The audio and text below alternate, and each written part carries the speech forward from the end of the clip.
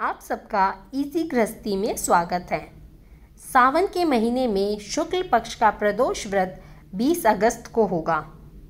आज मैं आपको प्रदोष व्रत कथा सुनाती हूँ। तो चलिए शुरू करते हैं। प्रदोष व्रत कथा।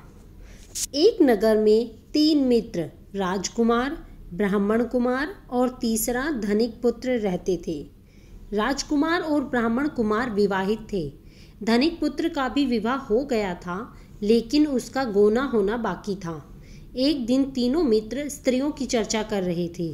ब्राह्मण कुमार ने स्त्रियों की प्रशंसा करते हुए कहा कि नारीहीन घर तो भूतों का डेरा होता है।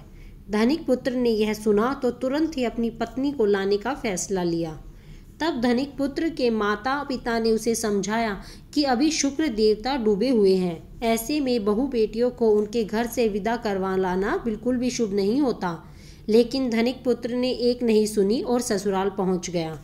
ससुराल में भी उसे मनाने की कोशिश की गई, लेकिन वो नहीं माना। कन्या के माता पिता को अपनी बेटी की विदाई करनी पड़ी। विदाई के बाद पति पत्नी शहर से निकले ही थे कि बैलगाड़ी का पहिया निकल गया।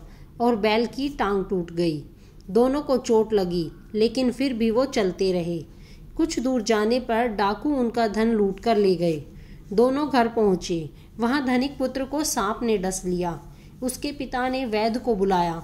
तो वैद्य ने बताया कि वो तीन दिन में ही मर जाएगा। जब ब्राह्मण कुमार को यह खबर मिली तो वह धनिक पुत्र के घर आया और उसके माता पिता को शुक्र प्रदोष व्रत करने की सलाह दी और कहा कि इसे पत्नी सहित वापस ससुराल भेज दिया जाए। धनिक ने ब्राह्मण कुमार की बात मानी और ससुराल पहुँच गया।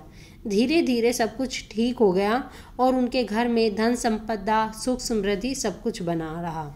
अगर आपको यह कथा अच्छी लगी है तो प्लीज़ मेरे चैनल को सब्सक्राइब करें वीडियो को लाइक करें और कमेंट करें।